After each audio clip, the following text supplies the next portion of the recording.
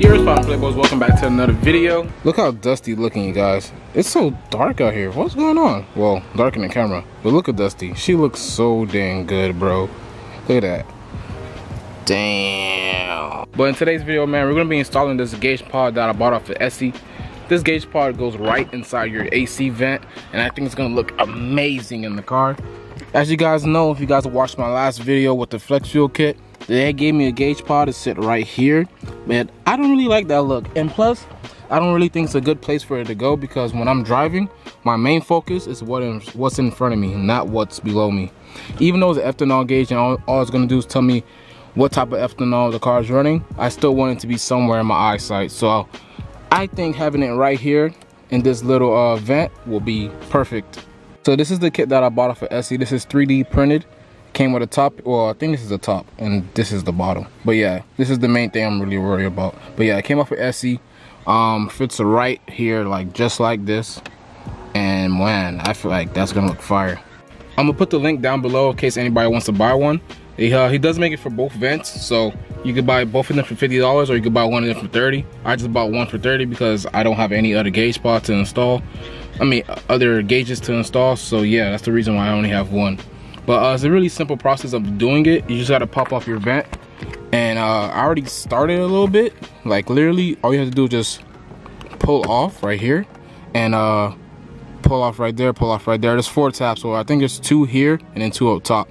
I can't really do it with one hand, so I'm gonna set the camera down and I'll pop it off real quick and then show you guys exactly on how I did it. Five minutes later. All right, so boom, pulled it off, simple as that. Literally all I did was pry up from the bottom, stick my fingernails on the sides of the, of the vent, and literally just pulled it off. It's really easy, really, really simple, and uh, doesn't require too much force.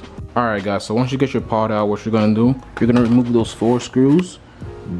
This one, I believe, yeah, so this one, this one, this one, and this one.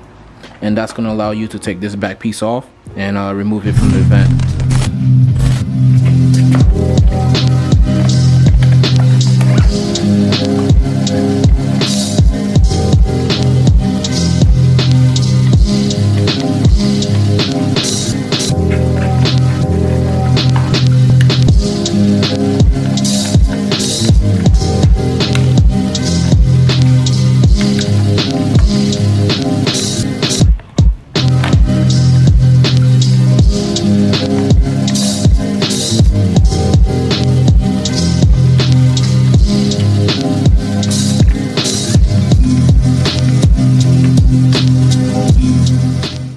Once you get those four screws out, just pull up and boom, this is what you need. Now what you have to do, you have to remove those two clips. You see those? Really, really easy. Just pry it off. I think I could do it with one hand. There goes one, and then two, boom. Put that aside. If you guys do want to wrap it or spray paint it, this be the time for you guys to do that. But I'm gonna leave mine like this for now. And uh, next, you're gonna get a flathead I'm gonna need two hands to hold this up or maybe I could try it with one hand. Let's see let's see. Wish I had my tripod right now. Would be easier. But yeah I can do this with one hand. But yeah what you're gonna do you're gonna get a flathead sticking in, in between these grooves. Not these but this right here like the right here. And you're just gonna pry it up. And it should be really easy. All right guys so what you're gonna do now you're gonna grab your piece that was connected to that and it's gonna be these three flaps that are inside.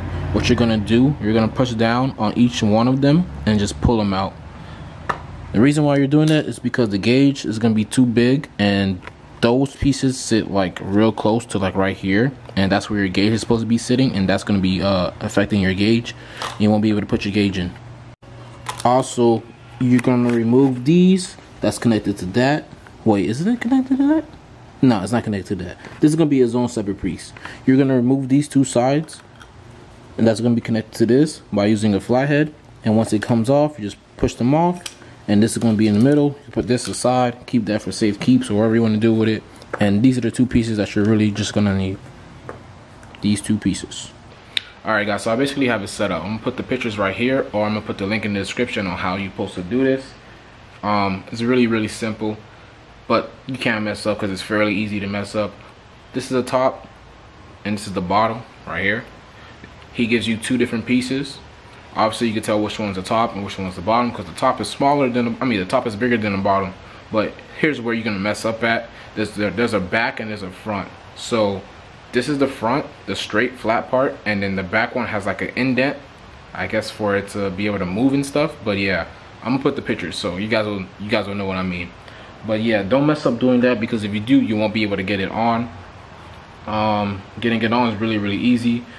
It might be a little tight, but you can force it in. And I guess that since it's tight, it's never gonna fall out, which is good. And that's actually how I like it. So yeah, now we're gonna do the reversal of what we did with taking it out. We're gonna put everything back in, uh, screw everything back in, and then uh, see how I can run this gauge pod.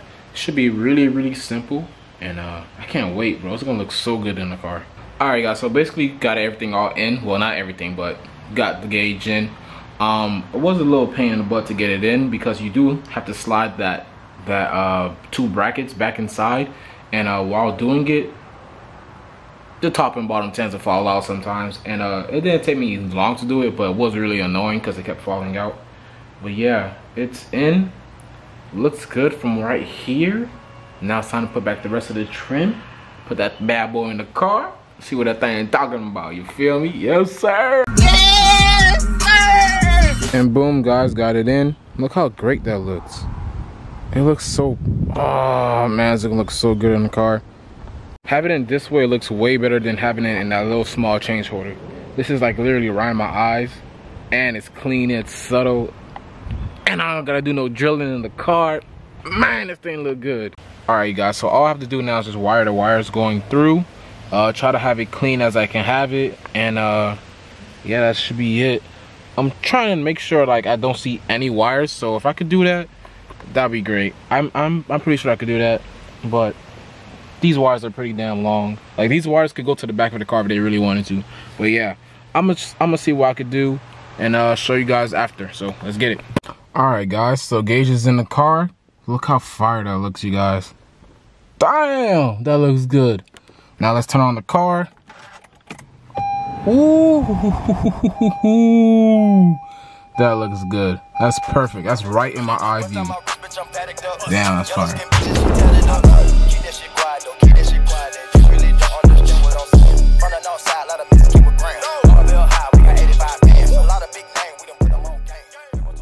But alright guys, that's wrapping up the video. Hopefully you guys enjoyed it. If you guys want to go purchase one of those gauge pods, I'm going to leave it down in the description. Please make sure you guys like and comment on this video. Doing so will help this video gain more popularity.